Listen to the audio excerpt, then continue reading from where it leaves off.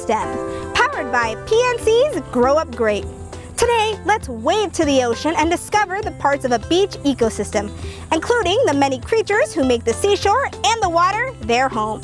Get ready to dive in. Everybody, my name is Miss Alina and this is Miss Destiny. Today she is going to be my awesome science friend and she is going to help me explore this awesome beach ecosystem. So today we're going to be talking about the four things an animal needs. So do you see any animals, Miss Destiny?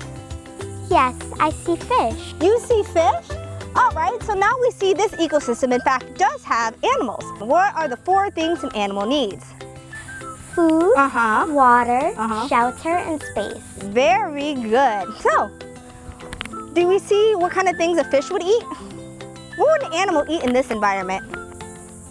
Probably some animals would probably eat the fruit. They would eat the fruits, right? We have low-hanging fruits that come off the trees. You can have big fish that would come out of the water and eat it. Do you think birds would live here? They could probably live in the trees. They could, right? So what do you think the trees fall under? What would a, sh- a tree be shelter or space? Shelter. Shelter, very good. Now shelter is where an animal lives. It keeps them protected from air, from predators, from the sky, from the rain. They can have their nest here. So do you think these animals could drink the water? No. No? Well, let me see. Let me see if I can drink this water. Ew, that's salt water. how, how do animals get their water? The kid, they can't drink this. I don't think a bird can drink salt water. So animals in these saltwater environments, they don't always have easy access to fresh water. Instead, they'll get their fresh water from the food they eat, like the fruits or even the little fish they eat. So these fish may eat some things, but there are other animals that also eat the fish. So fish can be considered food, right? So we have food, we have water, we have shelter, but what about space? What is space again? You don't know? You didn't talk about space. You're right, I messed up. I forgot to tell you. So space is basically all the area in which an animal lives. A better word for it is called territory. So do you know what territory is? Space. Territory is space. Very good. Now, in more detail, space is essentially the territory in which an animal lives. Now, an animal needs to get food, water, and shelter, right? But can they get all that from one spot, or do they have to travel up and down? They have to travel up and down Very so they good. can find all the stuff they need. Exactly. So space is the territory in which an animal lives. That way they roam, they can have their nest, they can have their shelter. Our own space would be like our front yard, our backyard, and our house. That is our little territory, and our neighbors have their own territory. Now, do you think animals need a lot of territory?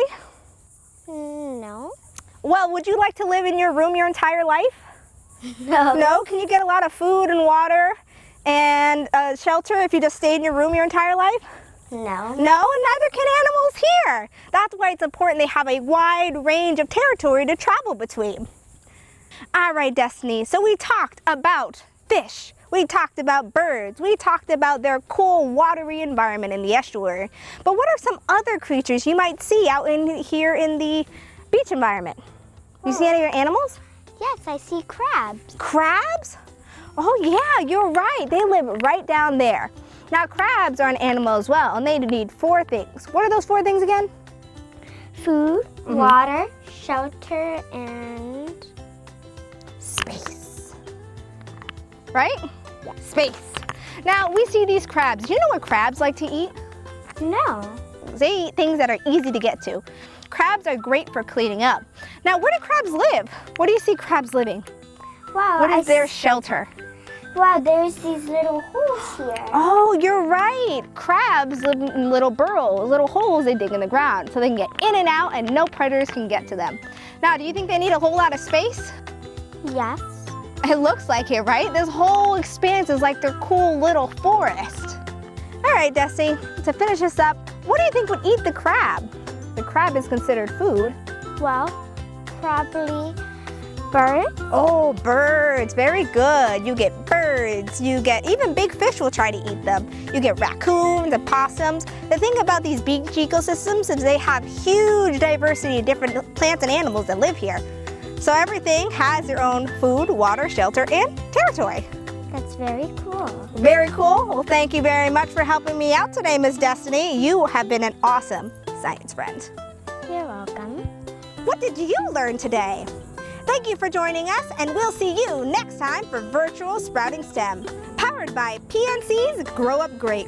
Special thanks to the Extra Catch, Mod's official sustainability partner.